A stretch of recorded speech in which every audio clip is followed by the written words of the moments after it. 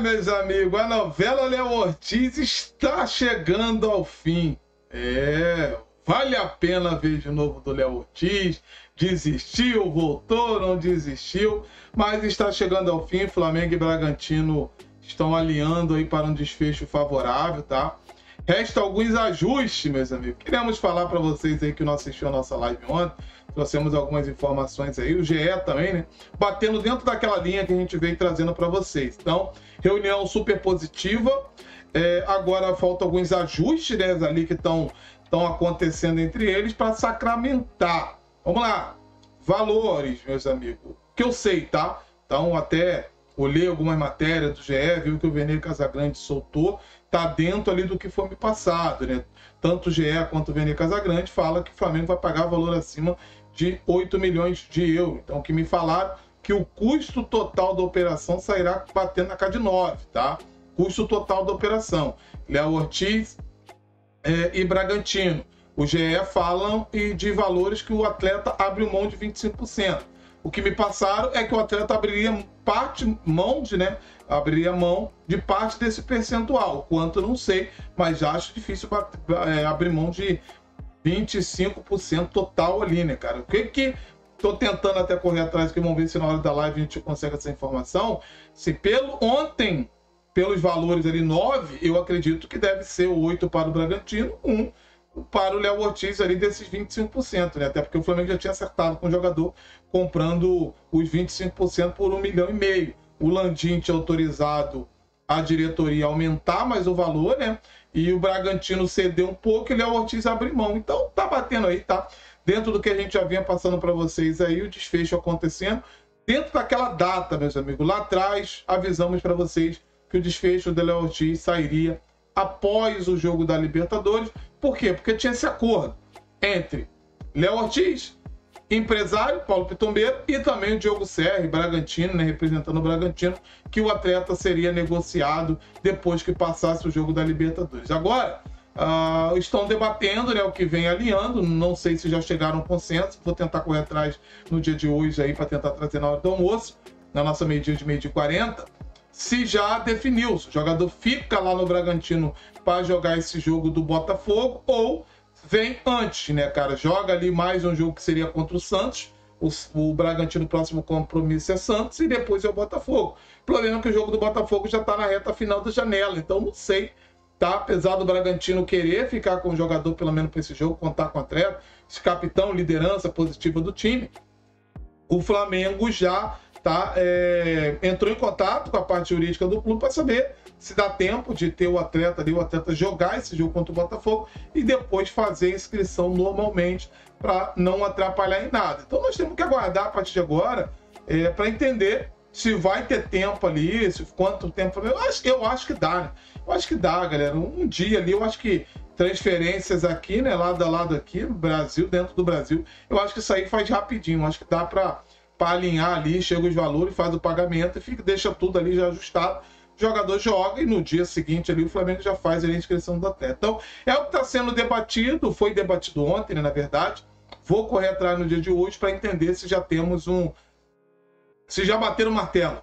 Joga esse jogo ou vem antes, tá? O Bragantino quer o Flamengo em si está alinhando ali até para tentar sacramentar. Acho que não vai ter problema quanto a isso, não, tá? Luiz, quem que o Flamengo não bate na mesa e traz logo o atleta, fala que não vai jogar? Relação.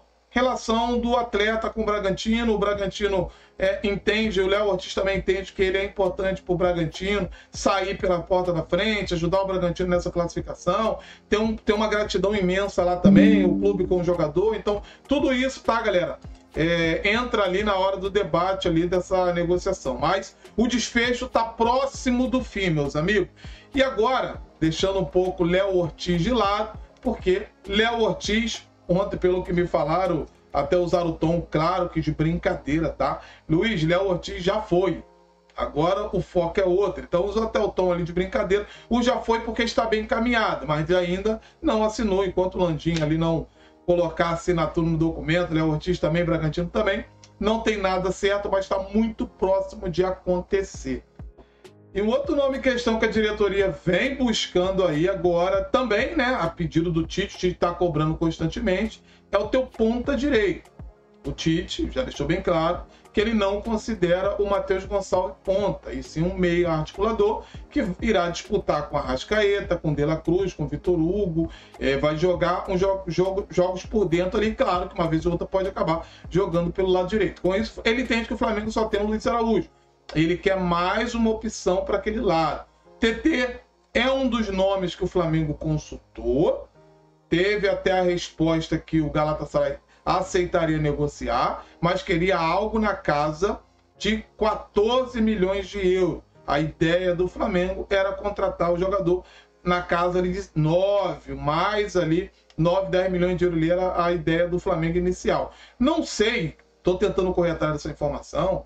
Ontem até, durante a live, a pessoa me passou que o Tite continua lá cobrando essa questão das contratações. E o Landim está bem tranquilo, falando que vai tentar ajustar para trazer mais jogadores além do Ortiz. E há quem diga dentro do Flamengo que não seria só Léo Ortiz e mais esse ponta. Até o tal meia poderia aparecer. Ah, Luiz, você acredita? Eu acho o tempo muito curto. Acho o tempo muito curto para uma negociação aí, principalmente. É, é buscar mais duas contratações ali, a não ser que tenha algo bem amarrado, tá? Bem amarrado que eu falo, já chegaram valores ali, só fazer o pagamento, o jogador vir para o Flamengo. Bertolucci tem ajudado, está ajudando o Flamengo a fechar com um atleta aí. Tá? Não sei quem é esse jogador, a gente está tentando descobrir. O tal ponta hoje é meio que uma prioridade para o Tite. Tite está dando ponta na frente desse meia. Por que Luiz o ponta? Como eu falei, porque ele acha que só tem o Luiz Araújo e na parte de, desse meio articulador vai jogar ali, tem o Vitor Hugo, na, na ausência do De La Cruz, e o Matheus Gonçalves serão os jogadores ali que vai suprir, tá? E aí é torcer para o Gerson não ser convocado é, e ficar pelo menos com desses atletas. Mas a ponta direita ali é uma prioridade do Tite. O Flamengo está tentando resolver essa situação. Falando do TT em si, é, não acho que hoje, pelo que vem atuando, tá? A última temporada ali que atuou para mim no nível bastante ali competitivo foi no Lyon, que eu lembro, e também no Galatasaray ali, no, no Galatasaray, não, desculpa, no, no, no Shakhtar, né? Esses dois clubes ali, o TT teve um nível competitivo bacana. Hoje no Flamengo, se me perguntar, seria, viria para ser titular absoluto, eu acho que seria uma briga aberta ele e Luiz Araújo. Não acho que o TT chegaria com aquela dando já a carteirada, cheguei vou jogar. Diferente, por exemplo, do Léo Ortiz, que chega hoje, ó, tô aqui, hein? E aí, Tite, joga onde? Eu, entrar ali, joga. Vai chegar, vai jogar. Agora o TT não. O TT é uma briga para mim hoje aberta com o Luiz Araújo. Não acho que o TT tá. Acho tanto o Luiz Araújo como o TT, dois jogadores com muito potencial. Uh, o Luiz Araújo leva uma vantagem, né? Um pouco vantagem ali pela questão da. É, a idade ali, já tem 26 anos, o TT também não é mais nenhum garoto, ele já bate ali seus 24. Se não for o TT, tem outro nome aí que o Tite indicou, mas fica essa suspeita aí. Outro nome também, já falando questão do Marco Antônio, o próprio Matheus Leal entrou em contato com o jornalista do Correio dello Sport lá, né? Do jornal italiano, e o próprio jornalista confirmou que a diretoria se reuniu com a, a, diretoria da Lazio para falar do Marco Antônio, mas nesta janela ele acha muito difícil acontecer, mas talvez por meio do ano até deu o valor ali que a Lazio hoje está disposta a receber pelo atleta na casa de 6 milhões de euros. Então é um Flamengo agora nessa reta final, meus amigos. Vamos ficar de olho aí, porque o que foi combinado era assim que finalizasse a novela Ortiz, o Flamengo iria intensificar a busca por esse ponta que o Tite vem pedindo e, quem sabe, mais um jogador para o meio de campo. Vamos aguardar as cenas desse próximo capítulo. Eu continuo apostando as minhas fichas no TT. Ontem a pessoa de novo falou para mim, ah, eu acho que se conseguir baixar a pedida lá, eu apostaria as fichas também no TT, porque a negociação você não abre rápido assim, principalmente numa janela que já está no fim. E como o TT, Marco Antônio, foram negociações que o Flamengo começou a conversar lá na época que foi para a Europa, cara, quem sabe já não conseguiu ali chegar ali em valores próximos a uma realidade, uma realidade que o Flamengo está disposto a pagar. Mas, deixando bem claro, tá? Estou correndo atrás para de fato descobrir quem é esse nome que eles estão tentando fechar. Há um ponto sendo conversado e tentando sacramentar para vir ainda nesta janela, tá? A ideia do Tite, do Landim, da diretoria é fechar com mais duas ou três contratações. Lembrando que ontem a CBF respondeu que não tem como paralisar o campeonato para os clubes brasileiros. Isso só força ainda mais a tese do Tite. Precisa contratar porque iremos sofrer na Copa América. Então, meus amigos, essa reta final de janela do Flamengo será muito interessante para a gente observar aí como a diretoria irá articular essa vinda de um ou mais dois jogadores com o Léo Ortiz. Tite vem cobrando constantemente, Landim vem prometendo que irá conseguir contratar, mas só o tempo dirá. Deixa o like, se inscreva nesse canal que é muito importante, a inscrição.